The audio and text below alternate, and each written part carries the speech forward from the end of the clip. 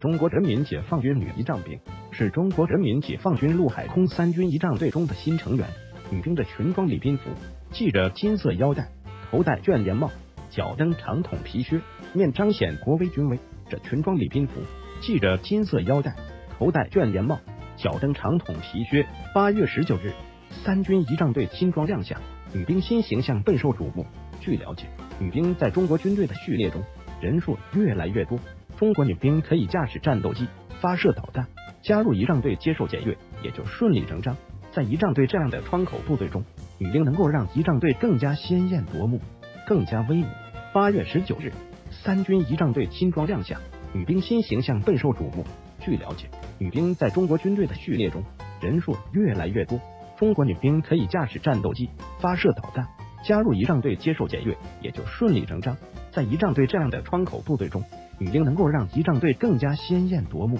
更加威武。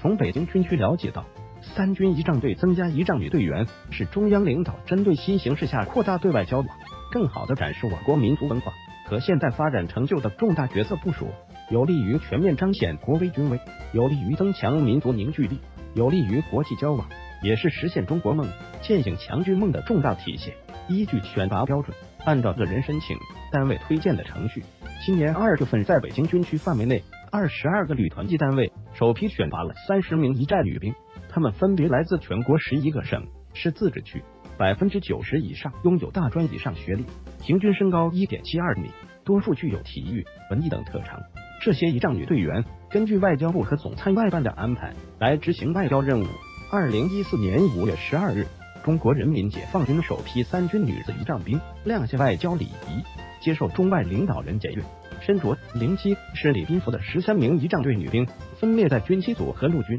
海军和空军军种之中，与男仪仗兵一起伴随检阅区，手持礼宾枪接受检阅。这是中国人民解放军女仪仗兵的首次公开亮相。在欢迎仪式现场，挽着发髻、身着礼服的十三名女仪仗队员分布在军机组和陆军、海军、空军军种方阵之中，与男仪仗兵一起伴随着检阅区执行司令任务。他们动作干净利落，举手投足间展现出威仪与自信，受到在场中外宾朋的高度评价。中国女兵之女仪仗兵，写真。